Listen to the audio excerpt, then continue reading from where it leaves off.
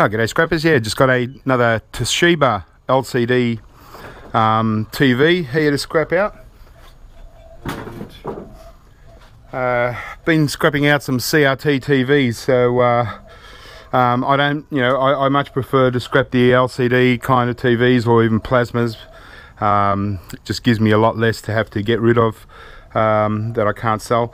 But uh, yeah, this one, um, yeah, bit rusty. It's obviously been sitting outside for quite a while, um, so it's all rusted out. But uh, yeah, pretty basic looking uh, Toshiba from outside.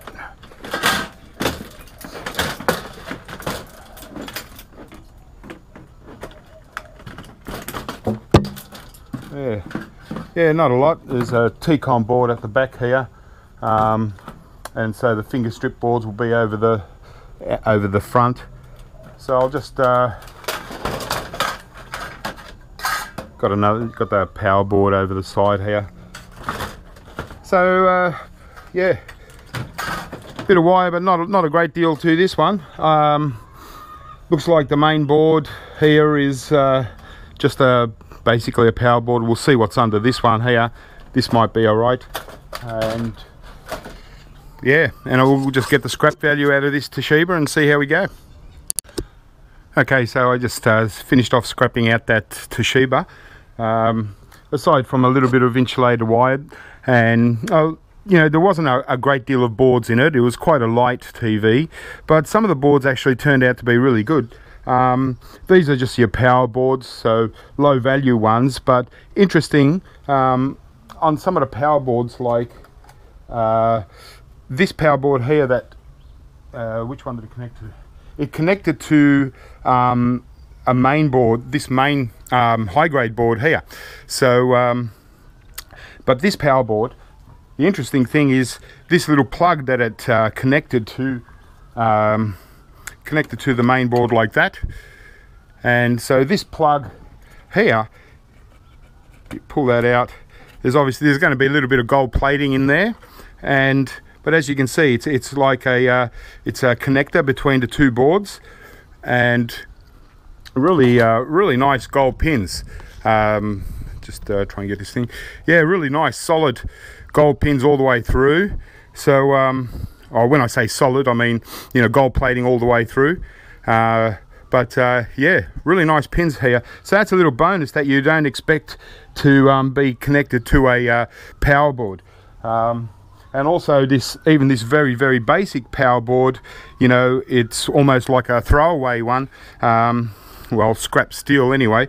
But uh, behind all these little uh, little kind of shield plates you know you, we've got little boards here. And the boards have got you know you can see uh, there's uh, three MLCCs on each side. So six MLCCs in there that we can um, you know we can get out of each of these. So normally with a, uh, a low grade board you wouldn't even think to probably look behind these shields. But yeah as I said you, you can we can just take off this this whole board and that's you know it's only a little mid-grade board you know but uh, we can take off these um, six MLCCs which is uh, a nice little bonus. All right and yeah so regular power boards really nice pins um, got a nice finger strip here actually. So we got the, you know, we got our gold finger. We've also got some plates here that are really nice gold gold flashed plates. So um, yeah, quite a nice little finger strip board, one-sided. Um, the mid-grade board now technically it's a high-grade board because it's got the gold corner chip but it's only a mid-grade board because it's got this other sort of junk on it we can leave this and just sell it as a mid-grade board or you can depopulate it um, or um, yeah or you can if you cut this part off here and you can turn this part here into a high grade board and this just into a power board. So it kind of balances out. Uh, that's a T-con board. Uh, it's actually a really nice one. Um, it's got some really great um, MLCCs all over it. And um, so these will be pretty good quality MLCCs and they're really nice and chunky and we've got a whole heap of them here. Also it's a pretty good board. It's got some gold flashing um, on both sides. So if we depopulate this, we could uh, process this board for gold plated as well. But uh, yeah, quite a lot of uh, MLCCs all over it. So really nice TCON board. And that's the main board. And uh, yeah, it's a, a really nice high grade board. Nice chip here, some ICs, nice crystal.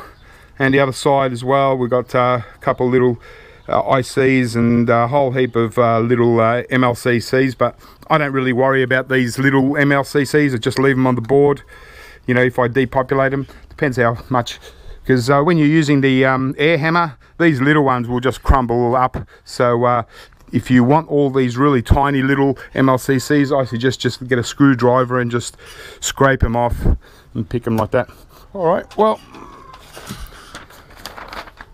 that's that. That was the Toshiba LCD. Um, that's the model number. So power boards, mostly, you know, very little of each other board, a little bit of um, insulated copper, um, 10, just over 10 kilos of scrap steel. So we only ended up getting $2.25 scrap value out of um, out of this stuff if we were to just sell it as it is now to a e-waste buyer.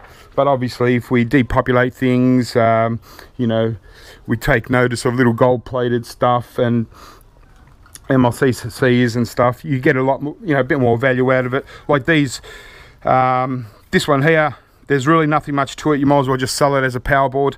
Even if you took off these things and threw them in as transformers, you're not going to um, then really get anything for the board and say you're losing a bit of value. So you're better off just selling the whole thing. Maybe take off this IC chip and um, and maybe uh, a few of these little MLCCs and sell the rest as a power board. Um, all right, well, keep scrapping, guys. That's the Toshiba LCD. And uh, I think I've got some, I've got a really interesting scrap to do next. Uh, well, it's, uh, what is it? Um, uh, projectors. So, uh, yeah, check out that when, um, when I put that up soon. All right, well, keep scrapping, have fun, and I'll catch you next time.